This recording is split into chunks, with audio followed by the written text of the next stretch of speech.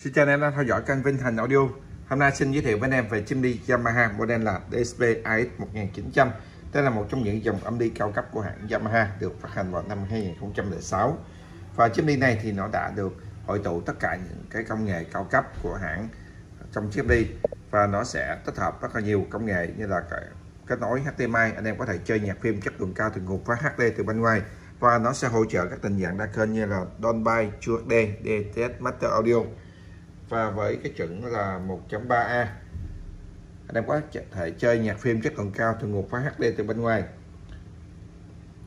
Và có cổng quang anh em có thể chơi nhạc mạng, nhạc YouTube từ Smart TV và cổng analog chơi nhạc từ đầu đĩa. Mặt phay nhôm màu bằng chanh, rất là đẹp nha. Máy đẹp trong lanh luôn kèm theo khiển phụ kiện của Yamaha. Trong này thì nó vẫn hỗ trợ bộ điều khiển equalizer chỉnh bát chép và nó sẽ có luôn cái ờ, chức năng để chơi nhạc bằng tất cả kênh loa khá là hay để chúng ta không lãng phí bất kỳ một cái loa nào khi ở chế độ nghe nhạc. Và ngoài ra nó vẫn có cổng USB nha thì với cổng USB này thì nó sẽ hỗ trợ uh, USB MP3 anh em có thể chơi nhạc số trực tiếp luôn. Chỉnh equalizer chỉnh bát chép đầy đủ luôn. Và về thiết kế công suất ra lo loa 6 âm công suất thông thường là 130W và công suất uh, max của nó lên tới là 175W tính rất là khỏe nha anh em. Rất là nhiều chế độ nghe nhạc và xem phim.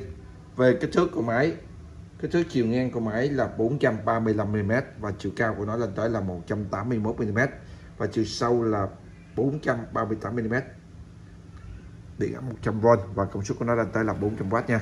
Con này về đẹp long lanh góc cạnh luôn.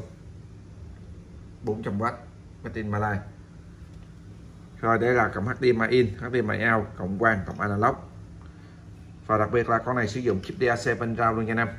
Đây là khu vực rệ nha khu vực chấm bi. Rệ full chức năng luôn rệ là phong nha. Rồi rệ áo xếp điện đây. Đối với cái dòng này thì cái khiển nó là khiển ờ, phụ kiện chỉnh full chức năng nha.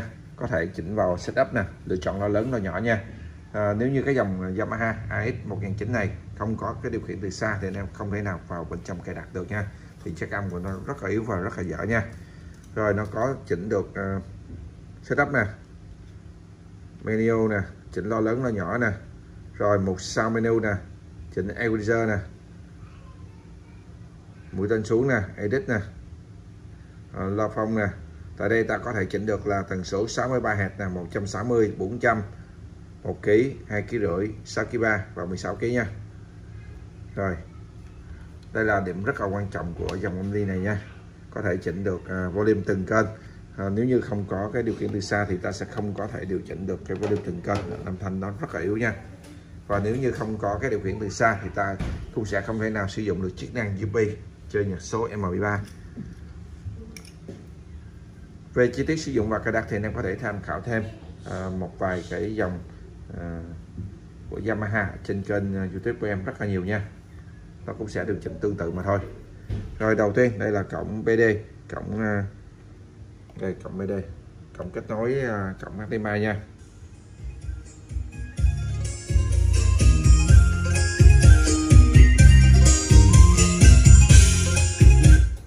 Rồi, cổng TV là cổng quang rồi, cổng CD là cổng analog.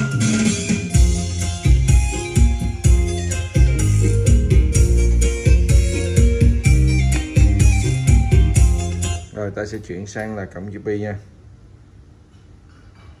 Đây USB đây.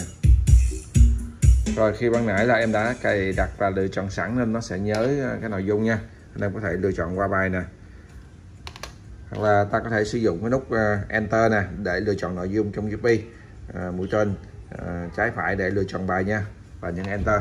Còn khi mà nó đã đọc rồi thì anh em có thể sử dụng là nút qua bài đây. Đây, đang đọc USB nha.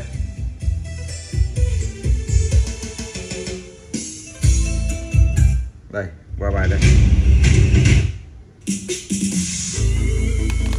Rồi, lựa chọn chế độ nghe nhạc. Bảy lo.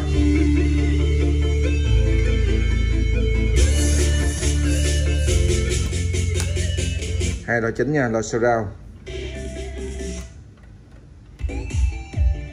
Lo surround lo center. Rồi, hoạt động 7 lọ, ok nha. Hoạt động hoàn hảo mọi chức năng luôn. Cộng HDMI in, out cộng unlock cộng quang và cộng USB đầy đủ luôn nha. Công suất lên tới là 400W máy đẹp long lanh.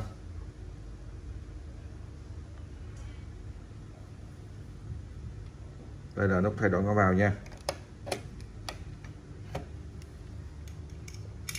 Đặt ken góc cạnh luôn vừa chơi hay vừa trưng bày đẹp. Chất âm đậm đà đậm chất uh, nature sound của dòng âm đi Yamaha.